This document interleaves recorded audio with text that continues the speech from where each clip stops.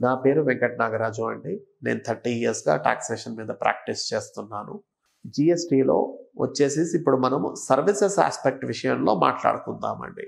Services అనగా ఇక్కడ జనరల్గా వచ్చేసేసి జిఎస్టీలో సర్వీసెస్ వచ్చేవాళ్ళు ఎవరు అంటే doctors engineers architects salon shops tailoring shops consultants real estate brokers ఇంకా వివిధ రకాల సర్వీసెస్ ఇచ్చేవాళ్ళు.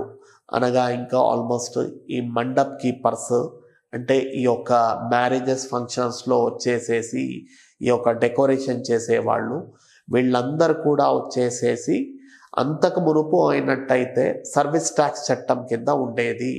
సో వీళ్ళందరూ కూడా రెండు వేల పదిహేడు కని కంటే మునుపు వచ్చేసేసి ఇప్పుడు మనం అందరం ఎవరైతే సర్వీస్ మన ఏవైతే సర్వీసెస్ ఇస్తారో ఆ సర్వీసెస్ విషయంలో మాట్లాడుకున్నామో రెండు వేల పదిహేడు కంటే ముందుగా వచ్చేసేసి వాళ్ళందరూ కూడా సర్వీస్ ట్యాక్స్ చట్టం పరిధిలోకి వచ్చేది.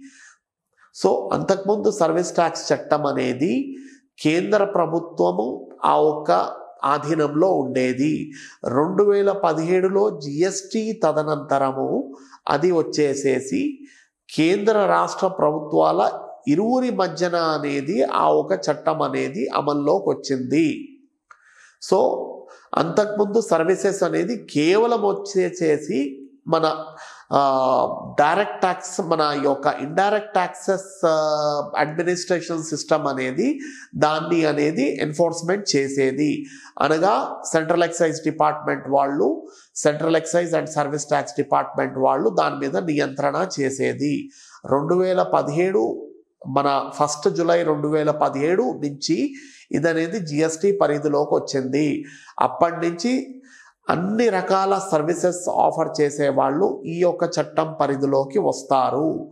సెలూన్ షాప్ కానివ్వండి డెంటిస్ట్ కానివ్వండి ఇంజనీర్ కానివ్వండి మండప్ కీపర్ కానివ్వండి మన రియల్ ఎస్టేట్ కన్సల్టెంట్ కానివ్వండి అడ్వకేట్ కానివ్వండి చార్ట్ అకౌంటెంట్ కానివ్వండి వీళ్ళందరూ ఇప్పుడు వచ్చేసేసి ఇప్పుడు సర్వీస్ ట్యాక్స్ చట్టం అనేది రెండు వేల పదిహేడు ముప్పై జూన్తో రద్దయిపోయింది కాబట్టి ఒకటి జూలై రెండు వేల పదిహేడు నుంచి వీళ్ళందరూ జిఎస్టీ పరిధిలోకి వస్తారు.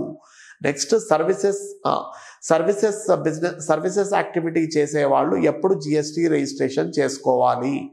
వాళ్ళ సాలీనా టర్న్ ఓవర్ కనుక ఇరవై లక్షలు దాటినట్టయితే వాళ్ళు జిఎస్టి లైసెన్స్ రిజిస్ట్రేషన్ అనేది తీసుకోవడం తప్పనిసరి.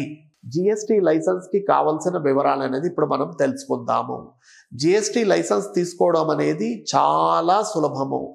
అంతకుముందు చెప్పాలి అన్నట్టయితే రెండు వేల మన సర్వీస్ ట్యాక్స్ చట్టం ఉన్నప్పుడు కూడా కొంత అనేది ఇబ్బంది అయ్యేది. ఆల్మోస్ట్ ఈ యొక్క సెల్ఫ్ రిజిస్ట్రేషన్ కాన్సెప్ట్ అనేది లేదు.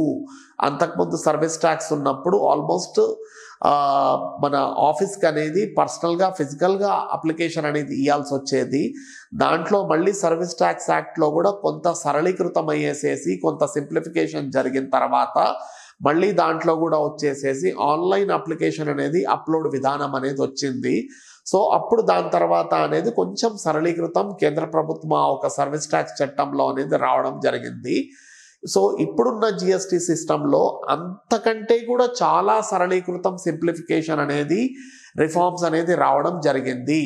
సో ఈ యొక్క సర్వీస్ ట్యాక్స్ యాక్ట్ ఉన్నప్పుడు కూడా ఆ ఒక్క అనేది మనమే ఒక సర్వీసెస్ ఆఫర్ చేసే అతనే ఆ ఒక్క సర్వీస్ ట్యాక్స్ పోర్టల్ మీద అనేది డాక్యుమెంట్స్ కావాల్సిన మన పాన్ నంబర్ బేస్డే ఈ యొక్క సర్వీస్ ట్యాక్స్ నంబర్ అనేది కూడా పాన్ నంబర్ బేస్డే ఉంటుందండి.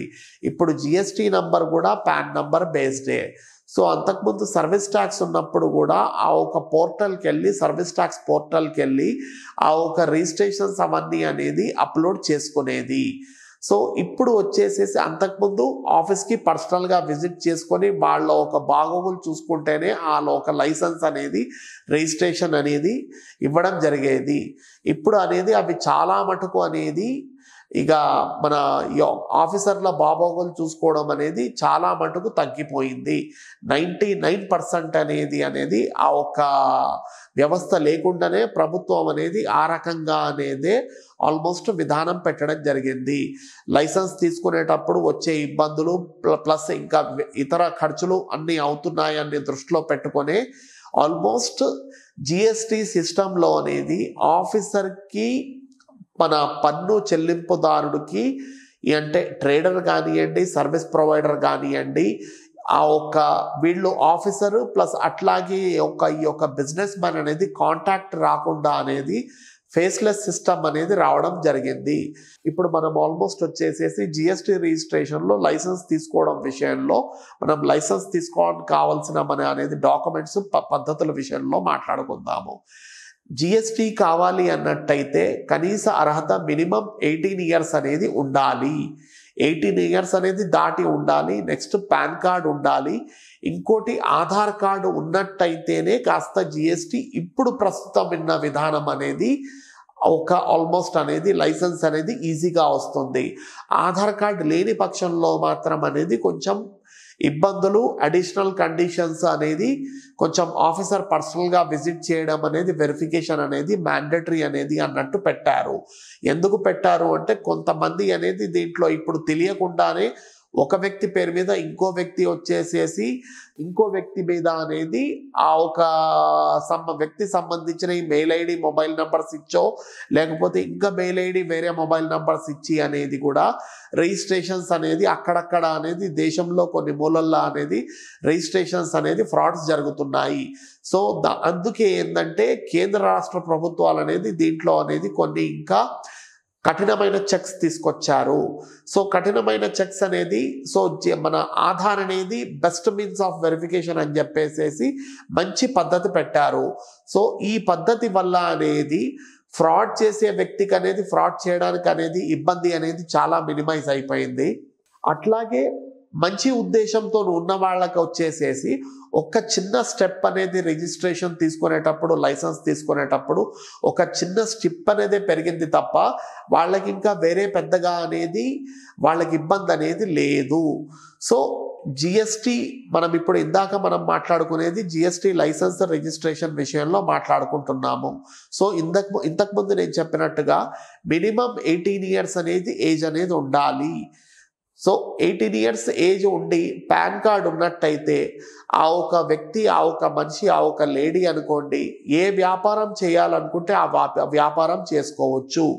జిఎస్టి వెబ్సైట్కి వెళ్ళేసేసి రిజిస్ట్రేషన్ పోర్టల్లోకి వెళ్ళేసేసి లాగిన్ అయ్యేసేసి తన మెయిల్ ఐడి మొబైల్ నంబర్స్ ఇచ్చేసేస్తే మెయిల్ ఐడికి మొబైల్ నంబర్కి ఓటీపీస్ రావడం జరుగుతాయి. ఆ ఓటీపీస్ అక్కడ టైప్ చేసినట్టయితే పోర్టల్కి విండో అనేది ఓపెన్ అవుతుంది. పోర్టల్లో విండోలో అనేది చాలా సింపుల్ ఇన్ఫర్మేషన్ అండి. చాలా ఫ్రెండ్లీ చాలా కామన్ అనేది ఇన్ఫర్మేషన్ ఉంటుంది అండి. జనరల్గా మనం ఆల్మోస్ట్ ఇప్పుడు వ్యాపారం పెడుతున్నట్టయితే ఆ ఒక వ్యవస్థ పేరు అతని ఆ ఒక వ్యవస్థ యాజమాన్యం ఏంటి? అది పార్ట్నర్షిప్పా ప్రొపరేటర్షిప్పా ప్రైవేట్ లిమిటెడా? అనేది ఆ వివరాలు తన డేట్ ఆఫ్ బర్త్ తన రెసిడెన్స్ తన ఒక పర్మనెంట్ ప్లేస్ ఆఫ్ బిజినెస్ ఎక్కడైతే వ్యాపారం చేయాలనుకుంటున్నాడో అవన్నీ టైప్ చేసేస్తే ఫస్ట్ పేజ్లో జనరల్గా అనేది జనరల్ ఇన్ఫర్మేషన్ ఉంటుందండి. సెక్స్ట్ పేజ్ మన సెకండ్ పేజ్లో వచ్చేసేసి తన రెసిడెన్స్ పర్టికులర్స్ థర్డ్ పేజ్లో వచ్చేసేసి బిజినెస్ పర్టికులర్స్ అనగా బిజినెస్ అడ్రస్. నెక్స్ట్ వచ్చేసేసి జనరల్ ఇన్ఫర్మేషన్ ఉంటాయండి. ఇవన్నీ అనేది లాస్ట్లో వచ్చేసేసి వెరిఫికేషన్ పార్ట్ అనేది ఉంటుందండి. ఈ నాలుగు ఐదు పేజీలు అనేది అన్నీ ఫిలప్ చేసేసేసి ఆ ఒక అప్లికేషన్ని అప్లోడ్ చేసినట్టయితే చివర్లో అనేది ఒక ఓటీపీ వస్తుంది అండి. ఆ ఓటీపీ అనేది అక్కడ టైప్ చేస్తే ఆల్మోస్ట్ అప్లికేషన్ కంప్లీట్ అయినట్టే అండి. దీని తర్వాత కానీ మన ఇక ఇంకొకటి స్టెప్ అనేది ఉంటుంది అండి.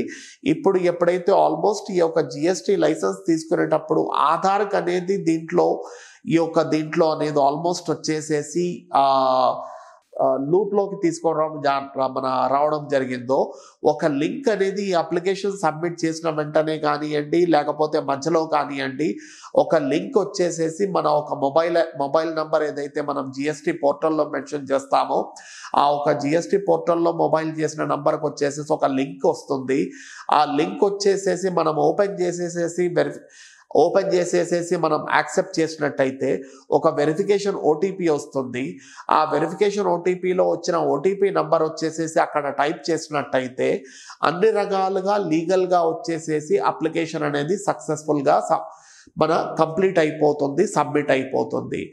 దీని తదుపరి వచ్చేసేసి అక్కడ డిపార్ట్మెంట్లో అది అది తన ఫైల్ అనేది సెంట్రల్ గవర్నమెంట్కి వెళ్ళినట్టయితే సెంట్రల్ గవర్నమెంట్ అధికారి స్టేట్ గవర్నమెంట్కి వెళ్ళినట్టయితే స్టేట్ గవర్నమెంట్ అధికారి తన వ్యాపార పరి పరిమాణాన్ని బట్టి అట్లాగే తన ఒక స్టేటస్ని బట్టి ప్రైవేట్ లిమిటెడా లేకపోతే తను చేసేది ఎక్స్పోర్టా మల్టిపుల్ బిజినెస్సా చాలా పెద్ద వ్యవస్థన ఇండస్ట్రీయా దాన్ని బట్టి అనేది ఈ ఫైల్ అనేది స్టేట్ కా సెంటర్ కా అనేది అలొకేట్ అవ్వడం జరుగుతుంది. జరిగిన తర్వాత ఆ ఆఫీసర్ వచ్చేసేసి తను ఈ యొక్క మన పన్ను చెల్లింపుదారుడు అది వ్యాపారస్తుడు కానివ్వండి అనగా గూడ్స్ సేల్ చేసే వ్యక్తి కానివ్వండి సర్వీస్ ప్రొవైడర్ కానివ్వండి తను సబ్మిట్ చేసిన అప్లికేషన్ అనేది అధికారి పరిశీలించడం జరుగుతుంది. పరిశీలించిన తర్వాత అంతా తను ఇచ్చిన సమాచారం అనేది అన్ని కరెక్ట్గా ఉండి వచ్చేసేసి దాంట్లో ఎటువంటి అవకతవకలు లేకపోయినట్టయితే అనేది ninety nine percent of the applications అనేది ఇమ్మీడియట్గా అనేది వన్ టు టూ డేస్లో అనేది లైసెన్స్ అనేది రావడం జరుగుతుంది. అధికారికి ఏమన్నా తను ఇచ్చిన సమాచారం విషయంలో ఏమన్నా క్లారిటీ లేకపోయినట్టయితే పన్ను చెల్లింపు పన్ను చెల్లింపుదారుడికి వచ్చేసేసి వాళ్ళు జనరల్గా ఒక నోటీస్ ఇష్యూ చేస్తారు.